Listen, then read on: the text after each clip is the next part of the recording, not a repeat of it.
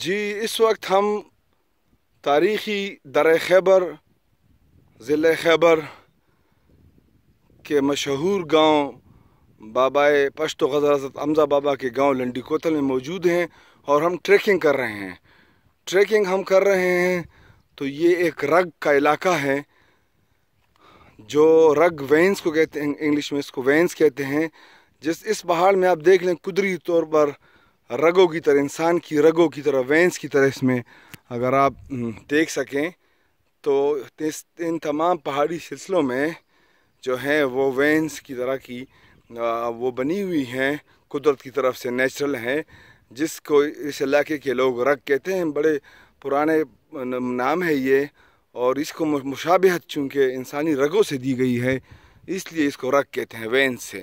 یہ آپ پیچھے دیکھ لیں آپ کو لنڈی کوتل سٹی نظر آ جائے گی۔ اس وقت ہم بالکل ٹاپ پہ کھڑے ہیں رگ پہاڑیوں کے بیچ میں۔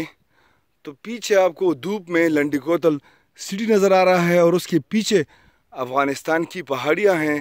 اور یہ ہمارے رائٹ سائڈ پہ اگر آپ دیکھ لیں تو خیبر ہی ضلع خیبر ہی کا علاقہ ہے شلمان۔ تو یہ شلمان کا علاقہ یہاں شروع تھی اصل میں لنڈی کوتل اور شلمان شنواری قوم اور شلمانی قوم کی باؤنڈری کا علاقہ ہے، تو یہاں پہ یہ شلمان کی پہاڑیاں آپ کو نظر آ رہی ہیں۔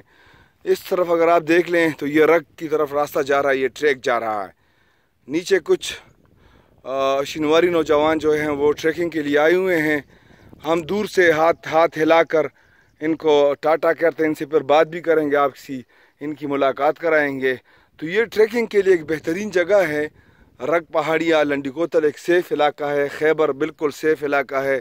آپ آرام سے یہاں آئیے اور اس تاریخی علاقے میں جہاں کا ہر ایک پتھر ایک اپنی تاریخ رکھتا ہے، اس میں آپ ٹریکنگ کیجیے۔ یہ دیکھیں اس ٹریک سے ہم یوں چڑھ کے آئے ہیں۔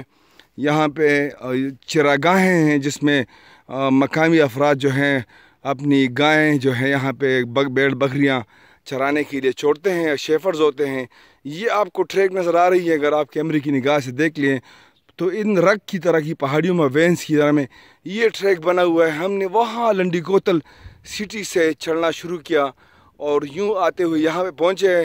ابھی ہم مین سنٹر پہ جو پکنک سپاٹ ہیں، جہاں پہ شلمانی قوم، شنواری قوم، افریدی قوم آتی ہے پکنک منانے، اپنے ساتھ شنواری تکہ مشہور اور یہ جو ہے کھانا بنانے کے سامان لاتی ہے، جس طرح ان نوجوانوں کے پاس موجود ہیں۔ وہاں ان سے آپ کی بات کرائیں گے۔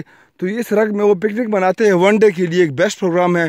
پشاور کے بہت قریب ہے، بہت سیف ہے اور آگ کی ٹریکنگ جو ہے ون ڈے کی کمپلیٹ ہو جاتی ہے۔ تو اوپر آپ سے پھر ملاقات کرتے ہیں اور پھر مزید بات چیت کرتے ہیں۔